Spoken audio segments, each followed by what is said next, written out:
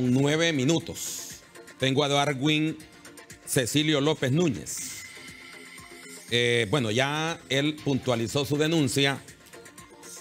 Eh, creo que nos quiere hacer un recuento. Nos quiere hacer un recuento de lo que sucedió con ese video que se volvió viral en relación a mm, la situación que se dio de enfrentamiento entre miembros de la Policía Militar de Orden Público y Darwin Cecilio López Núñez, que ha reconocido que es un policía, eh, bueno, que fue miembro de la institución policial, eh, que ya no... ¿Cuántos años estuvo Darwin Cecilio López en la policía? Tuve 24 meses, dos años. Solo dos años. Solo dos años. ¿Y por qué se salió rápido? Me salí en un mes de febrero porque tenía deseo de irme para Estados Unidos. Ah, intentó irse a los Estados Unidos. Sí. ¿No pudo llegar o, o no intentó? No pude llegar. ¿Hizo el esfuerzo de irse? Sí, hice el esfuerzo de irme y no lo pude lograr. Sí.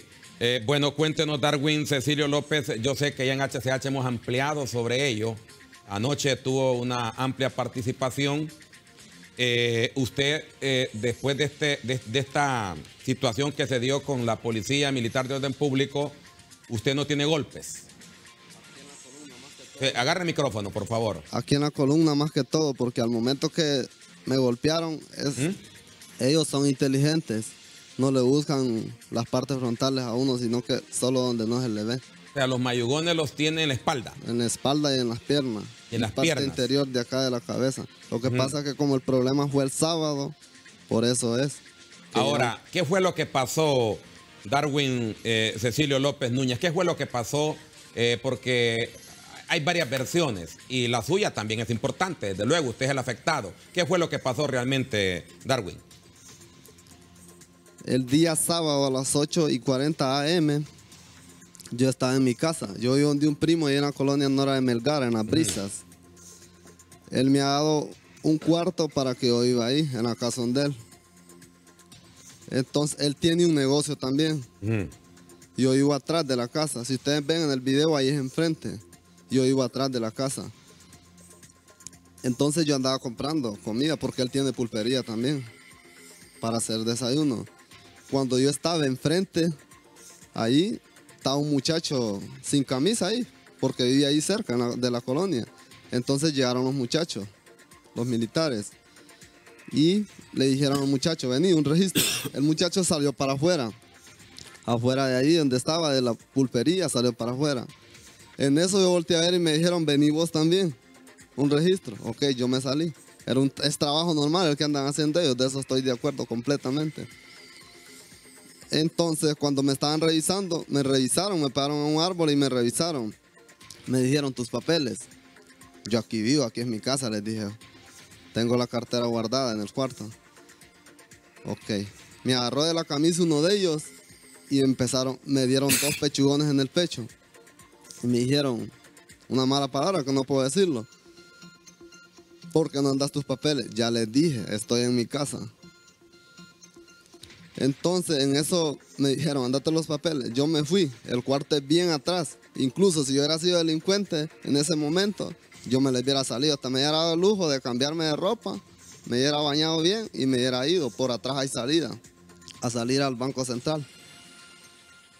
Entonces yo regresé con la identidad y en ese alegato estaban diciendo que me iban a llevar. Cuando yo les enseñé la identidad, empezaron a hablar por radio. Cuando empezaron a hablar por radio, el militar que andaba al mando, que es el que me golpea por último, le bajó al radio. Motivo, no sé por qué le bajó. Hay que llevarlo. Yo me sentí mal, pues porque yo andaba en mi identidad. Y yo les dije, ¿por qué me van a llevar? ¿Acaso este documento no vale? No, no vale, no vale, te vamos a llevar. Empezaron a golpearme, incluso yo creo que pasé por todos los pies de ellos, parecía balón, yo creo. Entonces en ese momento me levanté y uno de ellos me casé la camisa, ¿para dónde vas? No, ya me voy, ya se un gusto golpeándome. Entonces en ese momento me pegó otro pechugón por atrás, otro, en la columna siempre. Me tiraron al suelo, en eso la identidad se me cayó y uno de ellos la agarró y le dijo, tenga la identidad, hay que llevarlo. En ese momento, el que me golpea por último, agarró la identidad, le quebró la esquina, agarró un encendedor y la prendió. Me la quemó. De ahí para allá empezaron, me metieron hasta adentro golpeándome, hasta dentro de la casa. Y esa parte del video, eso ya por último, solo como tres minutos. Y yo lo que quiero aclarar, Sí. porque Importante que lo haga. Ayer, antier y ayer, más que todo ayer, anduvieron en la casa. Yo andaba trabajando, incluso ahorita voy a trabajar, entro a las 11, trabajo de 11 a 11. Ayer llegaron y le preguntaron a la esposa de mi primo y le dijeron, ¿no está el muchacho afectado? No. Necesitamos el número de teléfono de él para arreglar con él por los daños que le hicimos. Entonces yo lo que quiero aclarar, que si yo soy el culpable, como dijo el oficial anoche, que yo me le había puesto al brinco y que, y que el- yo me le había corrido a la patrulla y a ellos también. En ningún momento sucedió eso. Otra, ahí la carretera está mal, el río la deterioró. Hasta ahorita se está recuperando, ahí no entran patrullas. Está inventando. Y cualquier momento que ustedes deseen ir, pueden ir y van a ver lo mismo la carretera. ¿Usted dónde ha puesto su denuncia ya? Yo fui a la Fiscalía de Derechos Humanos ahí en el ¿Mm? Ministerio Público. Ya hizo la denuncia formalmente la denuncia. a la Fiscalía de los Derechos Humanos Ya del la hice Ministerio Público por la situación que vivió con... Ahora, ¿estos son soldados o son miembros de la Policía Militar de Orden Público? Más que todo andaban vestidos de verde ellos. Sí, son soldados. pero son como soldados. incluso han llegado los PMs a varias colonias que son supuestamente conflictivas. Se quitan el gafete que andan de PM y se quitan el coso de atrás también, que es algo ilegal pues. Para, para no, no, no, Para no dar no mostrarse como policía militar de orden público, sino como soldado común y corriente, porque el uniforme no se lo quitan. Sí, exactamente. Entonces usted quiere dejar plasmada su denuncia por su seguridad. Sí, por mi seguridad, porque incluso a mí me mandaron un mensaje de San Pedro Sula, un amigo que tengo que es oficial, y me dijo, no sé si estará inventando o será verdad. Hermano, dame tu número por el Messenger, por el Facebook. Me mandó el mensaje y me dijo, dame tu número. Sí, se lo mandé. Me llamó rapidito, hermano. Dicen que los PM estaban buscando hasta debajo de las piedras. ¿Por qué? Yo estaba en mi trabajo, no les debo. le. ¿A dónde estás? Me dijo él. No, aquí trabajando. Entonces yo quiero dejar claro eso, pues. Que el momento que me logre pasar algo a mí o a mi familia, sobre ellos va a recaer. ¿Por qué? El oficial dijo anoche que yo me le había corrido. ¿Yo por qué me voy a correr si estoy en mi casa? Mm. Otra, yo salgo así porque estoy en mi casa.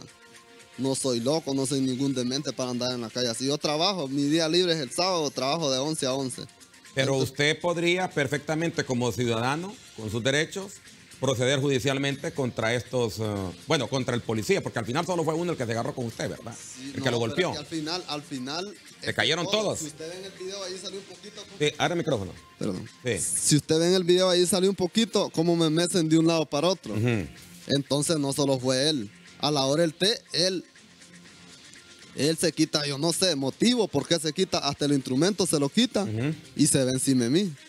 Incluso si yo no le meto las manos en la cara, me hubiera madurado, pues. Sí. Si cuando yo me fui, me fui al- a un cemento ahí.